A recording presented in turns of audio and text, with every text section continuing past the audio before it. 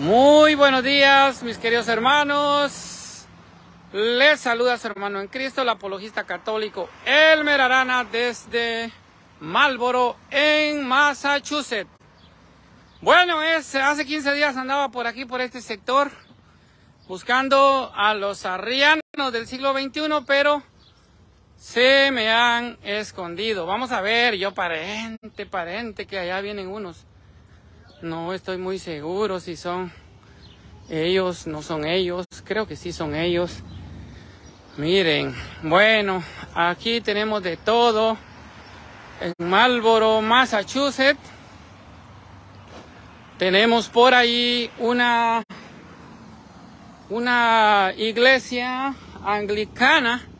Ustedes pueden ver esa iglesia anglicana. Ustedes saben cómo nacen los anglicanos, ¿verdad? Eh, la historia, la historia de los anglicanos nace con Enrique VIII, allá por el año 1534. Como ustedes saben, él se quiso separar de, de su esposa, eh, Catalina de Aragón, pero el Papa Clemente VIII negó ese, ese divorcio y él pretendía casarse con Ana Bolena, así que así nacen los anglicanos. Ustedes pueden ver aquí una iglesia anglicana que está ahí. Y, así nacen, dice Holy Trinity Anglican Church. Son como ellos eh, eh, nacen. Pero esta es una iglesia histórica. Ustedes ya saben que ellos son como una iglesia histórica. Y este, pues, eh, así que nacen ellos, ¿verdad? Y eso. Buenas. ¿Cómo están? Bien, gracias. ¿Testigos de Jabano? Sí. ¿cómo están? ¿Bien? Ah, mi nombre es Elmer. Estoy haciendo un en vivo aquí. Hablaba de la iglesia anglicana, pues tiene su historia y todo. Eh, los testigos de Jehová eh, nacen con, con Charles Russell, ¿verdad? Ya en el año 1881. ¿Sí? Sí, cuando empezaron. Qué bueno, yo soy católico. Este, tengo una pregunta para ustedes. Tengo cierta duda, no sé si usted me la puede resolver. Por ejemplo, la, la Biblia, la Reina Valera, que, bueno, ustedes tienen la Watchtower, creo que es la, la, imprenta de ustedes, la, entidad jurídica de ustedes. Hasta cierto grado, siempre usamos la Reina Valera. Sí. Por un tiempo. Uh, y la, no es que la cambiamos, la actualizamos con el, el español que se habla ahora, o sea que el español siempre sigue cambiando por años. Y se actualiza, digamos. Exactamente. Ajá. Oh, porque en la, en, la, en la más reciente que ustedes eh, emiten de la edición de ustedes, este, ustedes ya cambian la palabra Jehová por Señor. ¿En el Nuevo Testamento? ¿La, la, 2000? No. ¿No la, ¿No la han leído? ¿La han actualizado, no? Sí, la hemos actualizado, pero no, sí. no han leído Señor.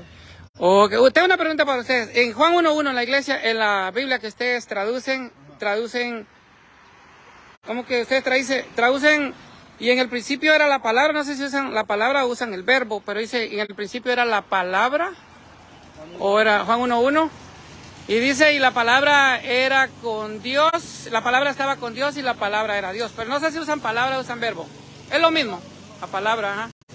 Pero ahí usan ustedes la D minúscula. ¿Por qué usan D minúscula si Jesucristo es, es Dios?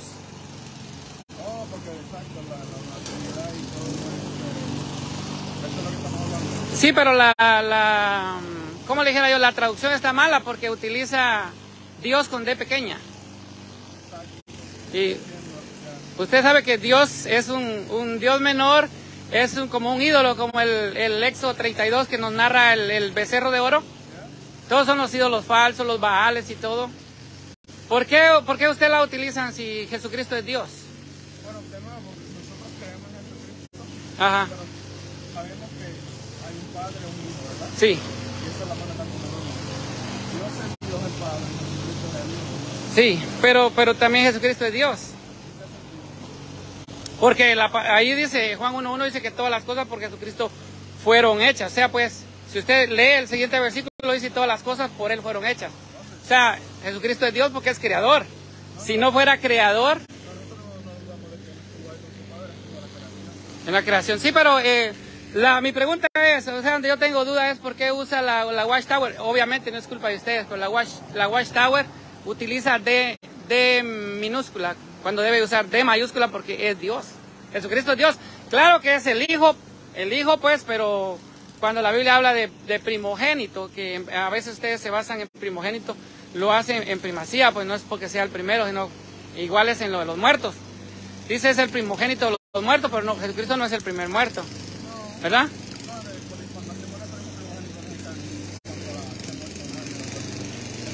Pero esa, yo sé que no es culpa de usted, ¿verdad? No sé que no es culpa de usted, pero la, traducción está mala porque usa D minúscula y es D mayúscula.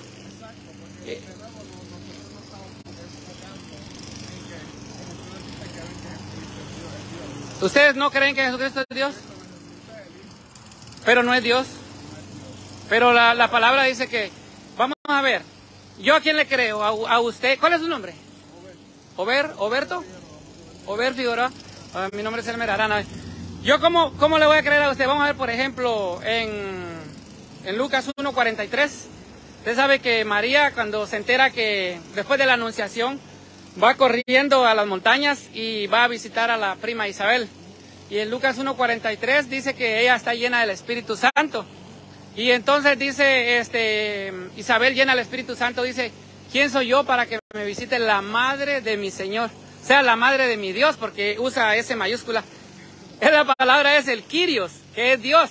Todo un niño que no ha nacido, Isabel llena al Espíritu Santo, dice, ¿quién soy yo? Para que me visite la madre de mi Señor. Entonces es Dios.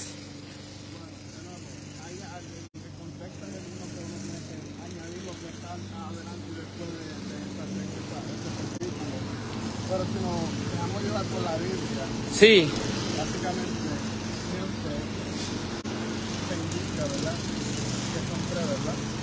son tres, Padre, Hijo y Espíritu Santo. ¿Ustedes no creen en la Trinidad? ¿No creen? Pero en el bautismo de Jesús, en, usted lo busca en los, evangelios, pero el que me recuerdo ahorita es eh, Marcos capítulo 1, versículo 11. Dice que se está en el bautismo de Jesucristo por Juan. Dice que el desciende el Espíritu Santo en forma de paloma. No como paloma, sino en forma de paloma. Dice, desciende Jesucristo se está bautizando por Juan Bautista y este y el Padre dice, este es mi hijo amado, escúchenlo. O sea, pues hay una manifestación pura de la, de la Santa Trinidad. ¿Por, qué ustedes no creen en la Santa Trinidad? Padre, Hijo, Espíritu Santo. Se pues no, no se menciona, pero está, es la, la expresión pura de la Santa Trinidad. Porque dice, el Padre está, dice, este es mi Hijo amado. El Padre está, este es mi Hijo. Jesucristo. Y el Espíritu Santo desciende sobre paloma, o sea, como en forma de paloma. Y están las tres divinas personas expresamente en el, bautismo de Jesucristo. Ajá, ¿ya ve? No, la palabra Trinidad no está, pero está la Trinidad es que es trino, o sea, son tres. Eh, Dios, Dios uno, como ustedes creen, Dios uno. Es que la palabra, la palabra no está, pero está la doctrina. O sea, la Trinidad, o sea, tres, tres, tres personas distintas, un Dios verdadero. La doctrina la define la iglesia. La iglesia, con la autoridad que Jesucristo le da. Es por eso le digo, no va a encontrar la palabra, porque usted no va a encontrar, por ejemplo, la palabra Biblia no la va a encontrar explícita.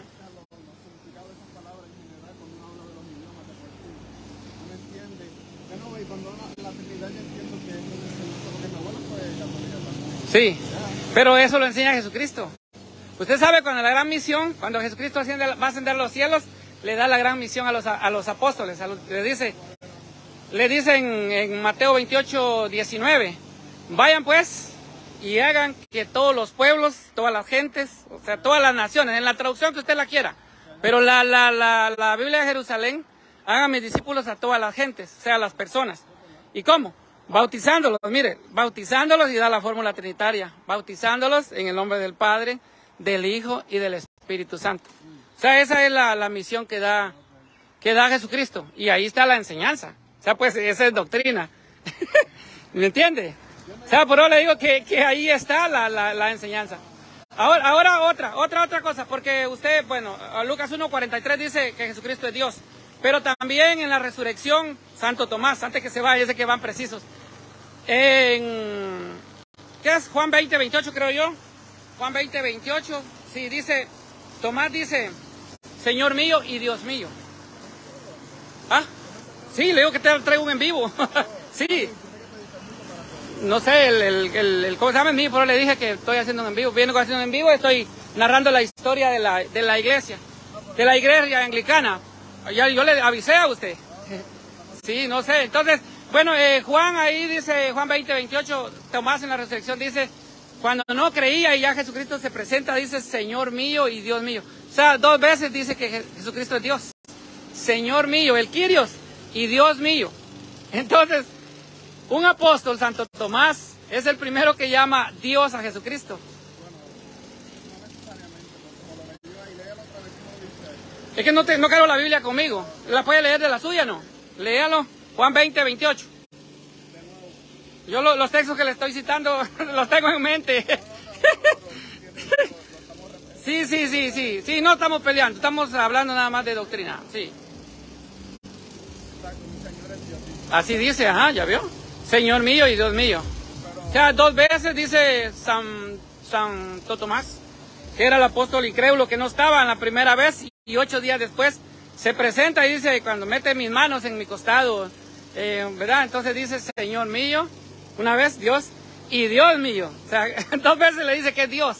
Pero cuando uno menciona esa, eso es una conversación que le está expresando Uno se pone a pensar y tomar en cuenta eso.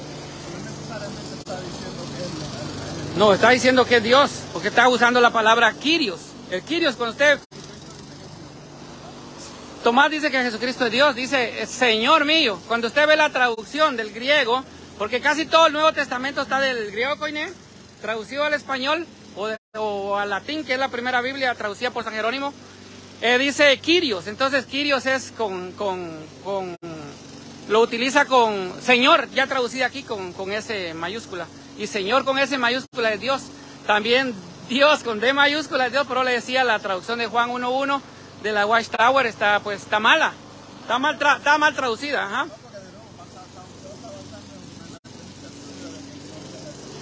Si ustedes no creen que Jesucristo es Dios, o sea, pero Jesucristo es Dios.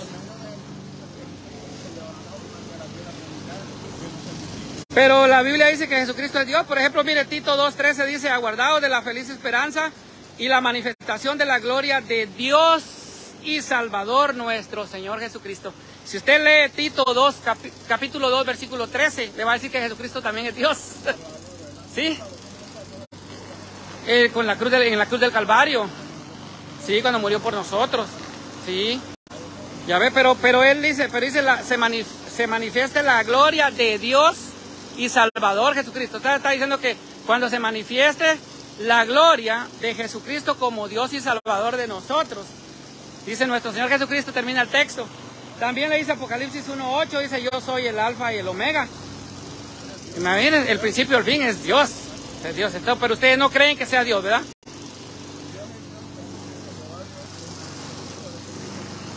¿Verdad? Ya. Y a ver, entonces Jesucristo es Dios. Le digo esto porque tal vez ustedes enseñan con la Biblia que Jesucristo no es Dios. Y yo con la misma Biblia enseño que Jesucristo es Dios. O sea. Elmer, Elmer Arana. Sí, claro, porque uno va saliendo, ¿sabes? O sea, usted agarra una Biblia y le enseña a 100 personas que Jesucristo no es Dios, y yo agarro la misma Biblia y le enseño a 100 personas que Jesucristo es Dios, entonces ahí la gente va a decir quién dice la verdad, ¿me entiende? no, yo se lo estoy probando ahorita con la Biblia, porque yo le dije yo, ¿cómo, cómo yo le creo? ¿A Santo Tomás, a Santa Isabel llena el Espíritu Santo que Jesucristo es Dios o a usted? Esa, esa es la cosa, en la Biblia, la Biblia es palabra de Dios. ¿Santo? Todos podemos ser santos. Hola, si aquí vienen las demás hermanitas. ¿Cómo están? ¿Bien? Estoy grabando, sí, está bien. Si no, ella no autoriza, no, ella no. Ok, está bien, solo estaba con usted. Yo porque ya tenía un en vivo. Entonces, eh, ok, está bien, no, muchas gracias. Elmer, Elmer, de repente podemos hablar. También tenemos el tema de la cruz, ¿verdad? Donde nos habla de la cruz. Eh, Ezequiel 9.4 nos habla que la cruz ¿verdad? Se ponga una frente en la cruz para todos los que allá, y, usa ahí la palabra estauros. Ajá, pero no es, no es eh, madero, como el madero es el, el, componente que usa la palabra en la Biblia es shilom, es madera, es un madero, es el componente de la cruz. Sí, la traducción es Stauros. Si usted va al, griego, la Cruz Roja griega dice es Red Stauros. O sea, si lo pone en inglés, Stauros es cruz. Y, madero es, es, madero la madera, es el componente con el que está hecho la cruz. Por eso el travesaño se llama patíbulo. Usted lo puede buscar en el, en el Strong, que es diccionario de los eh, evangélicos. Ahí está, busque. Yo siempre paso por aquí, pero si quiere anote mi, mi número y podemos platicar. ¿ah?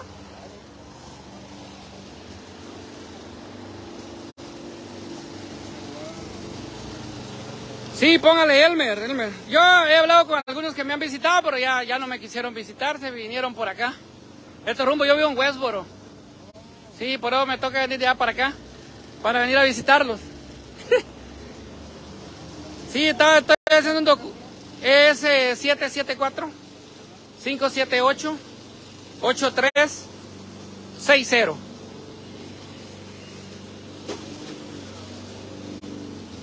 Llámeme, nos ponemos de acuerdo, de repente tenemos un compartir, ¿verdad? Así con respeto, ¿me entiende? Sí.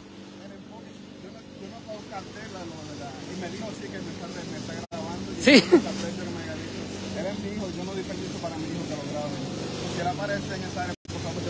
No, no lo, está bien, yo lo veo como lo enfoco. Ajá, aquí lo quito. Sí, está bien. Ok, ahí veo cómo se lo edito. Ajá, está bien, gracias, bendiciones. Cuídense. Bueno, mis hermanos, entonces terminé con los testigos de Jehová, me los encontré, ya les dije que se habían venido para acá porque allá pues me dejaron durmiendo, allá en Westboro. Y yo en la ciudad mía los he corrido, se han venido para acá. Y bueno, les hablaba aquí de la iglesia anglicana, ¿verdad? Esta es la iglesia anglicana, dice. Y ese, ustedes ya saben cómo nace la anglicana, ya se los conté. Nace entonces con lo que es el el rey Enrique, eh, Enrique VIII, este, y bueno, ya les conté la historia de lo que era la, eh, pues como el Papa Clemente VIII no daba, eh, pues, el divorcio a Enrique VIII y él se nombró cabeza de la iglesia.